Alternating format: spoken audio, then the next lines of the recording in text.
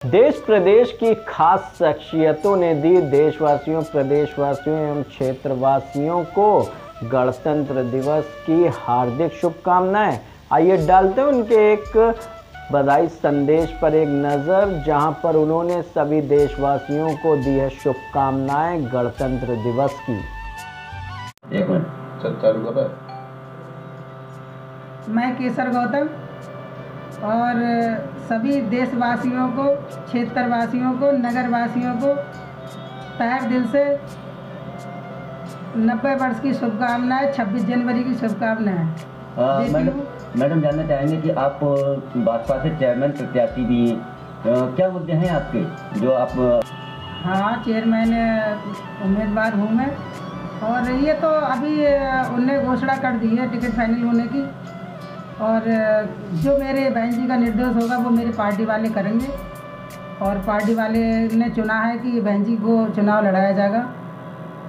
तैयारी कर ली है, फुल तैयारी कर ली है, तन मन धन से। और नवाबगंज की जनता जो है, मुझे ही को चुन रही है कि बहन जी को चुनाव लड़ाएँगे। अब की बार बहन जी को बनाएँगे। ये देखा है कि नवाबगंज के नगर निगम का बहुत बुरा हाल है।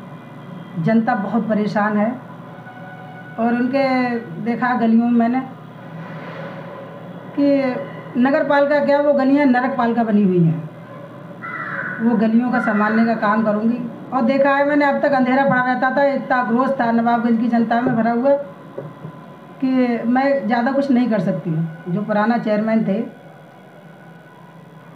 तो उनने कोई ऐसे खास कार्य नहीं करे जो जन, नवाबगंज की जनता खुश रहती।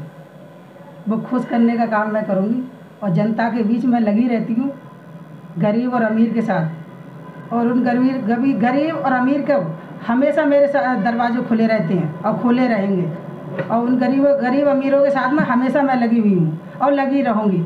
अगर मैं चेयरमैन प्रत्याशी नहीं बनती हूँ और चेयरमैन नहीं बनती हूँ, तब भी मैं जनता के बीच ऐसी लगी रहूँगी और लगी लगी रही पहले से। हंगामा टाइम्स की तमाम खबरों को देखने के लिए हंगामा टाइम्स को सब्सक्राइब कर लीजिए और बेल आइकन दबा लीजिए। अगर आपको ये वीडियो अच्छा लगा हो तो लाइक बटन प्रेस कर अपनी प्रतिक्रिया हमारे कमेंट बॉक्स में देना मत